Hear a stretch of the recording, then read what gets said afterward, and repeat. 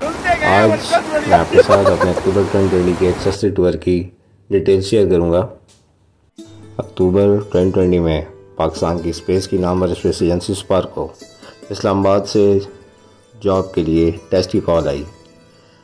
मैंने अपने university department fellows से मालूम किया। तो काफ़ी दोस्तों ने इस्लामाबाद सुपारको के लिए अप्लाई किया था और वो जाने का इरादा भी रखते थे। लेकिन कॉल लेटर इंतहाई कम मुद्दत पर आया था। 20 अक्टूबर को मैं भी इस्लामाबाद के लिए रवाना हुआ। हमारा टेस्ट आईएसटी इस्लामाबाद में था। कुछ लड़के बिना बताए छुप के गए थे। जैसे हम न जाते तो सुपारकों में साइंसदान लग जाते। मेरे 22 यूनिवर्सिटी क्लास फेलो वहाँ टेस्ट के लिए मौजूद थे। टेस्ट के बाद मैं तमाम लड़कों को आप बारह इस्लामाबाद ले आया, जहाँ पर मैंने क़्याम किया हुआ था। वहाँ जुनेद ने बोला कि सस्ता टूर करना है। मैं तो वैसे भी हर वक्त तैयार रहता हूँ टूर के लिए। मैंने कहा, मज़ीद दो तीन लड़के तैयार हो जाएँ तो सस्ता टूर हो जाएगा, मैं चलने के लिए तैयार हूँ। काफ़ी लड़कों ने वापसी की टिकट पहले से ही करवाई हुई थी। जुनेद ने सयाहती तबलीग करके उज़ैर, अदनान अज्जू भाई और शहरियार को मना लिया। जुनेद और उज़ैर इससे पहले भी अपर दीर का टूर कर चुके थे। अज्जू भाई और शहरियार ज़िंदगी में पहली बार कराची से निकले थे। अब मसला एक और पेश आ गया। अज्जू भाई और शहरियार के पास जैकेट शूज़ जॉगर्स कुछ भी नहीं थे। अक्टूबर का महीना था। तो वो दोस्त जो कराची वापस आ रहे थे, उनसे हमने जैकेट्स और शूज़ अज्जू भाई और शहरियार के लिए ले लिए। मुझे और जुनेद को कश्मीर की ठंड का अच्छे से अंदाज़ा था। लेकिन बाकी मासूम दोस्तों को बिल्कुल मालूम ना था कि आने वाले शदीद भयानक मौसम में उनके साथ क्या होने वाला है। वक्त ज़ाय किए बगैर उसी रात को हम फैज़ाबाद से केल के लिए बस पर रवाना हो गए।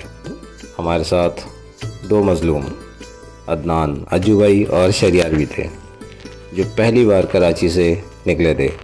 रात दो बजे के बाद मुजफ्फराबाद बस स्टॉप पे पहुँचे। ठंड भी थी और धुंध भी। बहुत ही मज़े का मौसम था। वहाँ हमने चाय पी, बस कुछ देर खड़ी रही। और फजर की नमाज़ हमने वहीं पे पढ़ के रवाना हो गए केल के लिए। तवील सफ़र के बाद हम केल पहुँचे। रास्ते में जुनेद ने तावबट जाने का मशवरा दिया। मैंने इनकार किया और समझाया भी कि अक्टूबर के महीने में तावबट सयाती मकाम नहीं है। लेकिन कोई ना माना मेरी बात। रायशुमारी में तमाम दोस्तों की राय जुनेद के साथ थी। तो मैंने भी इत्तेफाक कर लिया अक्सरियत के साथ।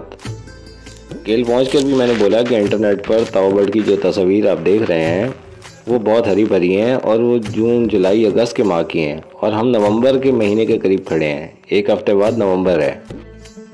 अक्टूबर के महीने में मैं ताओबर्ड के जाने के हक में नहीं था। तमाम दोस्तों की इसरार पर इतफ़ाक़ किया और हम ही भर ली।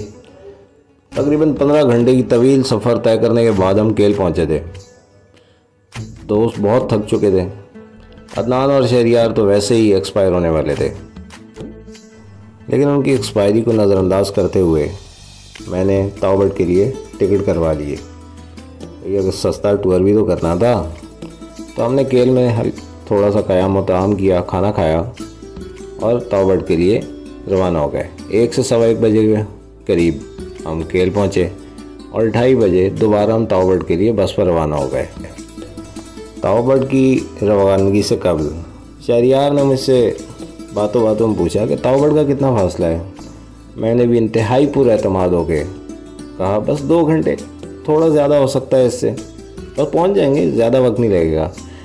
शहरियार अदनान पहले ही शदीद थकान का शिकार हो चुके थे। ढाई बजे हम ताओबर्ड के लिए बस पर रवाना हुए। दो घंटे के बाद मुझसे बार बार पूछने लगे, यार आगे कितना सफ़र है? मैं हर बार कहूँ, बस थोड़ा सा, बस थोड़ा सा आगे मज़ीद है। दो घंटे के बाद, अगले ढाई घंटे यही सवाल चलता रहा, यार आगे कितना सफ़र बाकी है? और मैं भी इंतहाई पूरा अतमाद हो गए बोलूँ, बस थोड़ा सा, पंद्रह मिनट में पहुँच जाएँगे। मगरब के बाद, रात के अंधेरे में, हम तावट पहुँचे। उस वक्त शदीद थकावट हो चुकी थी, अब सिर्फ़ खाना और सोना था। हमने तावट कॉन्टीनेंटल होटल में क़याम किया। अंधेरे में पहुँचे थे, उस वक्त तक सिर्फ़ पानी का शोर सुनाई दे रहा था। तावबट की खूबसूरती का अंदाज़ा नहीं लगाया जा सकता था। और हमारे कराची के लड़के जुनेद और शहरियार ने आम पानी जानते हुए दरिया में डुबकी लगाने की कोशिश की। तो इनकी तशरीफ़, इंतहाई यक बस्ता और ठंडी हो गई चीखे मारते हुए बाहर निकले थे। भाई, अब ये एक आप जुमला कहते हैं रोलते गए पर चस बड़ी आई है। सुबह उठे तो काफ़ी ठंड थी और तावट में कोई हरियाली इतनी ख़ास नहीं थी। खुश्क मौसम था। दीगर दोस्तों ने कहा कि हमारा ये गलत फैसला था और हमें तावट नहीं आना चाहिए था। खैर, हम तावट घूमे फिरे, कुछ तस्वीर खींची। वहाँ से हम फ़िश फार्म पे भी गए और व्यू पॉइंट पे भी गए तावट के, जहाँ पे दरिया किनारे। बहुत अच्छा मंज़र था, पानी बहुत ठंडा था। मौसम भी बहुत सर था। खैर, अब की बार वापसी का सफ़र का अंदाज़ा था सबको कि अब केल पहुँचने में कितना वक्त लगेगा। टावर में तस्वीर लेने के बाद हम टावर के स्टॉप पर आए। वहाँ से बस की टिकट कराई। सस्ता टूर करना था। इस वजह से हमने जीप नहीं कराई। बस की टिकट कराई और वापस केल के लिए रवाना हुए। टावर से केल वापसी पर। अदान और शहरियार ने बिल्कुल ना पूछा कि अब कितना सफ़र बाकी है, क्योंकि जाते हुए उन्हें काफ़ी बड़ा झटका लग चुका था और सफ़र करना सीख चुके थे। अब केल पहुँचे तो दोबारा रात हो चुकी थी और चेयर लिफ्ट बंद हो रही थी। हम आखिरी लोग थे जिन्होंने उस चेयर लिफ्ट पे केल से अड़ंग केल का सफ़र किया। रात के अंधेरे में हम आखिरी लोग थे जिन्होंने केल से अड़ंग केल की तरफ़ सफ़र किया। और उसके बाद लिफ्ट वापस केल की तरफ़ आके बंद हो गई। अब अंधेरा था। यहाँ इंतहाई एक गंभीर मसला पेश आ गया। पहाड़ चढ़ने के मामले में जुनेद के अलावा बाकी तमाम लोग कमज़ोर थे। रात अंधेरी और शहरियार का सांस फूल गया।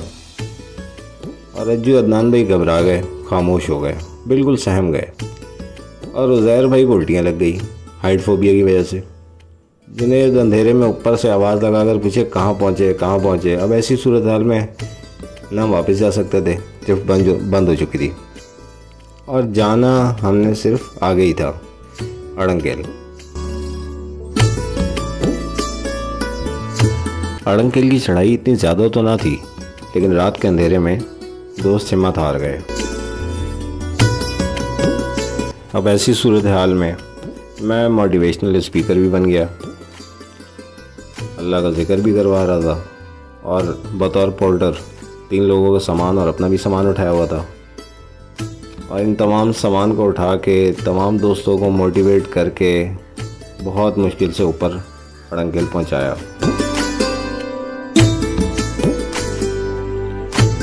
रात के अंधेरे में अड़ंकेल पहुँचे थे तो अड़ंकेल के हुसन से तमाम दोस्त नाशना भी थे और थक भी चुके थे और घबराए हुए भी थे। यहाँ पर दोस्तों को बकरे की बेहतरीन कढ़ाई खिलाई और सो गए।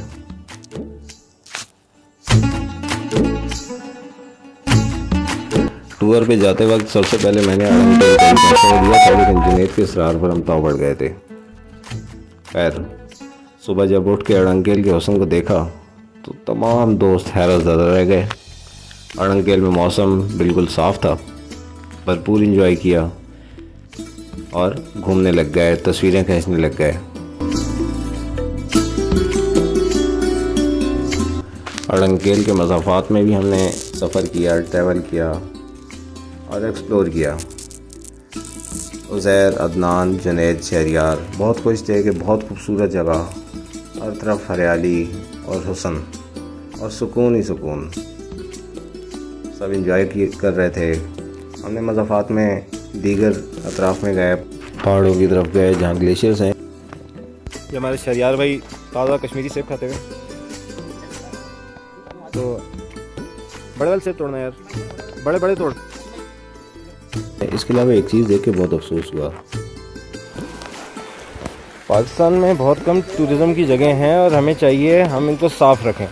अब इस्लामाबाद के काफ़ी लोग आते हैं। मैंने खुद ऑब्ज़र्व किया है कि वो लोग सफ़ाई का ख्याल रखते हैं। साफ़ शहर में रह रह के उनके मिजाज में सफ़ाई है। अब यहाँ पर आप देखें कि ये पैम्पर्स डायपर्स ये रैपर्स चल रैपर्स की समझ भी आती है। आप इतने डायपर्स फेंक रहे हैं, ये क्या है? उसके बाद आप यहाँ पर आगे आप दिखा रहा हूँ। आपको पता भी है कि प्लास्टिक कहीं भी ज़ाया नहीं होती, पड़ी रहती है। यहाँ बॉटल्स आप फेंक के जा रहे हैं। यही चीज़ कई मैं तमाम टूरिस्ट से रिक्वेस्ट करूँगा। देखें, आप आ रहे हैं और आप ये बॉटल्स वापस जाके अपने गेस्ट हाउस या होटल में डस्टबिन में डाल दें। माहौल को साफ़ सुथरा रखें, गंदगी ना करें, क्योंकि आपके पास अगर कुछ कीमती जगह बची हुई हैं टूरिज़म के लिए तो आप उनको रहने दें।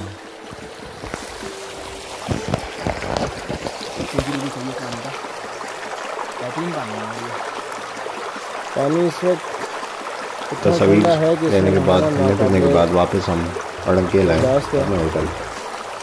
मौसम अचानक से बदला और धूप में आंधी चलना शुरू हो गई। होटल वाले ने जल्दी जल्दी अपना सामान संभाला। मौसम ख़राब होने लग गया। बारिश वाला और बादल आ गए। टाइम काफ़ी गुजर गया था और हमने चिटागठा झील जाना था।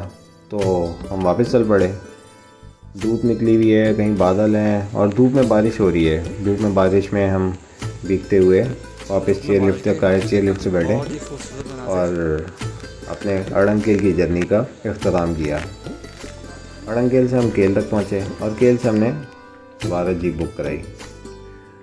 अड़ंकेल से केल की तरफ़ दिन की रोशनी में लिफ्ट पे आते हुए एक इंतहाई सुरूर वाला मंज़र, एक दिक्कत तारी होने वाला मंज़र था। दोस्त से ने बहुत इन्जॉय किया। अड़ंकेल से वापसी पे वो मुतमिन थे कि अब हाकिम जहाँ लेकर जाएगा, बेहतरीन जगह होगी, खूबसूरत होगी।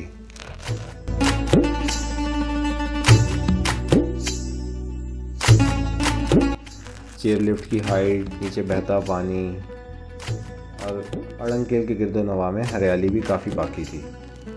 तो दोस्त अहबाब बहुत खुश थे कि ये सस्ता टूर बेहतरीन चल रहा है यहाँ पे तो। केल से शॉन्टर वैली हम गए और ये ख़तरनाक एडवेंचर अगली वीडियो में।